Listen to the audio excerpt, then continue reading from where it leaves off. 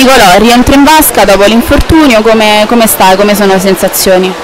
Bene, bene, sto benissimo. Eh, sto bene emotivamente, diciamo che dopo la convocazione sono felice, quindi è tutta un'onda che sto cavalcando.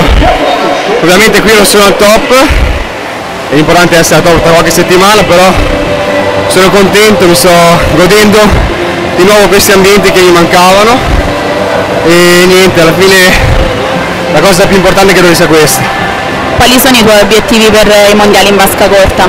Ma diciamo che arrivo a un mondiale in vasca corta, il mio primo mondiale in vasca corta senza aspettative riguardanti posizioni o comunque sia di questo genere. Sicuramente migliorare il tempo è l'obiettivo, è il primo obiettivo. Poi tutto ciò che ne deriva sono conseguenze, per il resto vado là, mi godo la mia esperienza, do il massimo e sperando di portare a casa il miglior risultato possibile.